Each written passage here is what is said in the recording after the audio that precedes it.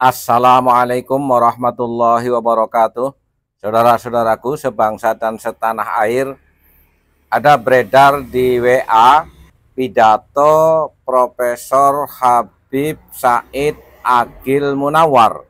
Yang kalau kita lihat dari gestur tubuh dan kalimat yang dipilihnya sangat merendahkan Kiai Haji Maduddin Usman, bahkan para kiai secara keseluruhan dan alur pikirannya melenceng, belak-belok nggak karuan, tidak mencerminkan dia seorang profesor yang seharusnya berbicara secara jujur dan sistematika logikanya berdasar kaidah-kaidah dan postulat-postulat keilmuan.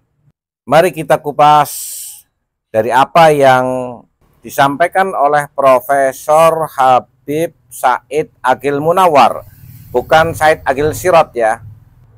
Dalam sejarahnya, suku bangsa Arab ini banyak sekali.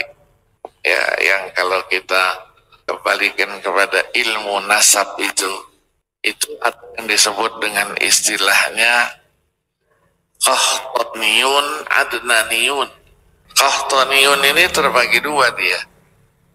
Ada Qahton bin Abir bin Sam bin Nuh kepada Nabi Allah Nuh. Satu lagi Qahtan bin Al-Humaisa. Qahtan bin Humaisa ini sampai dia kepada Nabi Allah Ismail bin Ibrahim alaihi wassalam. Nah yang satu lagi Adnaniun. Adnaniun itulah yang melahirkan junjungan Nabi besar Muhammad sallallahu alaihi wasallam. Ya yang kemarin diributkan oleh ya, Imad namanya ya dari dia bilang Bani Adnan yang diributkan oleh Kiai Imad sebenarnya Prof ini sudah baca tesisnya Kiai Imad atau belum?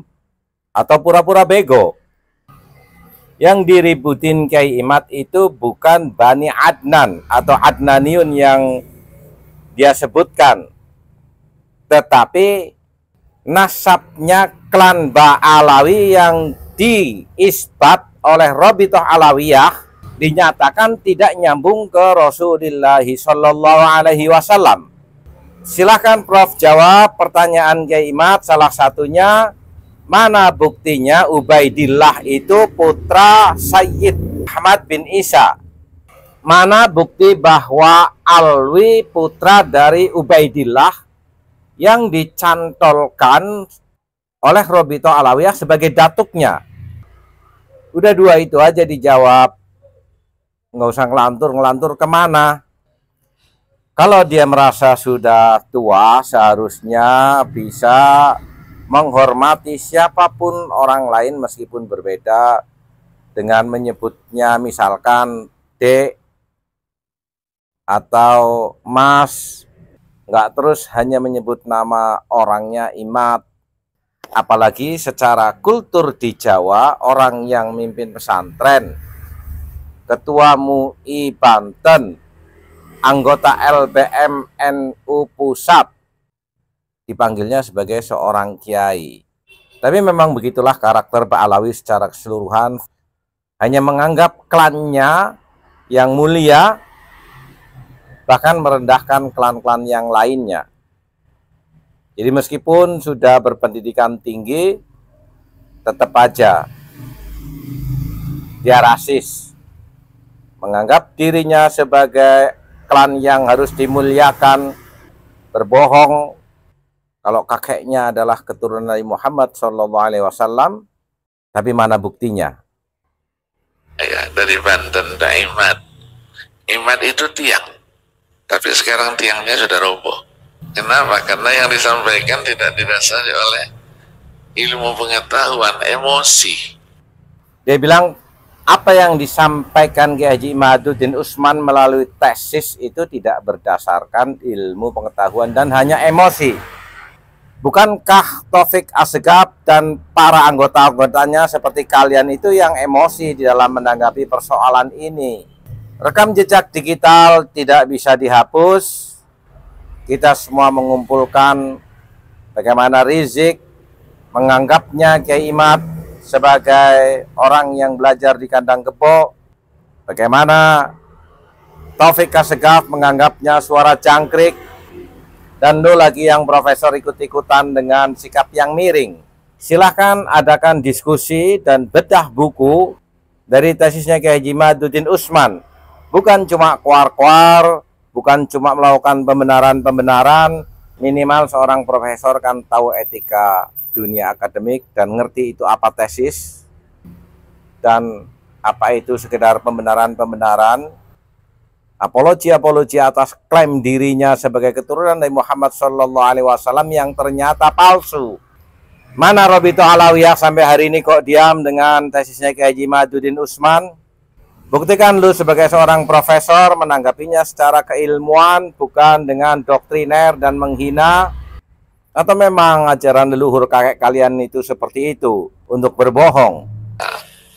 Karena banyak orang-orang yang datang di ke Rabita Alawiyah yang ada di Tanah Abang itu. Minta nasab. Ya itu urusan lu, bukan urusannya Kiai Imat. Minta nasab supaya disambungkan kepada Rasulullah Sallallahu Alaihi. Banyak yang tidak dapat itu. Termasuk teman-teman kita tidak dapat. Akhirnya ngoceh lah dia ngoceh lah orang Arab dijelekan nah coba sebutin lu sebagai seorang profesor siapa yang menjelekkan orang Arab jangan cuma kuar-kuar klaim-klaim nuduh-nuduh bikin fitnah nanti saling tuduh siapa orang yang menjelekkan. Kalau para Habib yang menjelekkan pribumi sangat banyak kami punya datanya. Bahkan Presiden Republik Indonesia yang seorang ulama dikatainya sebagai buta mata dan buta hati. Jokowi dianggapnya Jokodok. Rekam jejak digital para kabaib menghina pribumi itu sangat banyak sekali dan bisa didapatkan di media sosial secara terbuka. Jadi jangan asal tuduh ada orang membenci orang Arab. Dijelekkan. Ya, ini tidak punya etika namanya. Ya, etika. Iya, nah. Ngomong etika itu nggak udah ngajarin lah ke orang Nusantara. Kalau selama ini kita sabar, bukan berarti kita tidak berani melawan terhadap supremasi dan arogansi para habaib. Ada nasab itu tidak ada katanya. Lah kalau nasab tidak ada. Sekali lagi ini bukan membicarakan nasab Rasulullah Shallallahu Alaihi Wasallam, tapi meminta bukti atas klaim para habaib klan Yaman yang mengaku sebagai keturunan Nabi Muhammad Shallallahu Alaihi Wasallam Kenapa kau harus melencong jauh pikiran Anda? Bukannya menjawab secara keilmuan membuktikan klaim Anda sebagai keturunan Nabi Muhammad Sallallahu Alaihi Wasallam. Hadis itu apa isinya? Isinya sangat sangat ada sana ada sana ahwarona. Isinya sangat. Kenapa kita ribut-ribut dengan sanat? Kalau bicara tentang sanad hadis, tentunya berbeda bahasan lagi itu dibahas dalam ilmu mustalahil hadis. Dan mohon maaf, orang yang telah diputus bersalah korupsi oleh pengadilan dan dipenjara dalam kajian ilmu mustalahil hadis, silakan baca sendiri. Sangat tercela. Jadi nggak usah bicara jauh-jauh fokus saja ke satu persoalan lo ngaku sebagai keturunan Nabi Muhammad Shallallahu Alaihi Wasallam mana buktinya dunia ini sudah sangat terbuka perkembangan ilmu pengetahuan dan teknologi memungkinkan orang untuk mengkaji semua persoalan tanpa ribet-ribet seperti dahulu kita ini seperti hidup di dalam rumah kaca yang bisa dilihat oleh siapa pun dari luar berhati-hatilah Ya kan? Iya, ke mana saja. Tidak usah yang namanya keturunan. Sanat keilmuan saja harus jelas. kalau sanat keilmuannya kalau bicara sanat keilmuan tidak usah ngajarin lah. Santri-santri pondok kita biasa ngaji dengan sorogan dan bandungan. Jadi kamu bina aja itu klan Pak Alawi kadip-kadip yang suka pidato biar punya basic keilmuan yang cukup. Nggak usah sok-sokan lah kalau bicara sanat keilmuan. Kita bicarakan nanti di lain waktu tentang ini. Tapi buktikan dulu klaim kalian sebagai keturunan Nabi Muhammad Shallallahu Alaihi Wasallam yang ternyata palsu. Tidak jelas. Berarti dia belajar agamanya lihat. Ngajarkan orang kepada orang satu kitab, sementara dia sendiri tidak pernah belajar. Itu liar. Nah kalau dia sendiri liar, muridnya bagaimana? Ketawanya sangat merendahkan orang lain. Sekali lagi kalau bicara tentang sanat keilmuan, gak usah ngajarin lah ke orang NU.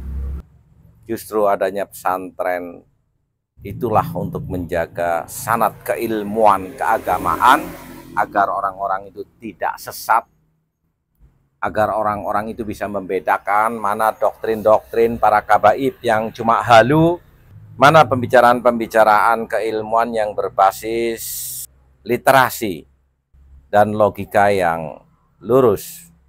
Bersiaplah. Wallahuminkum wassalamualaikum warahmatullahi wabarakatuh.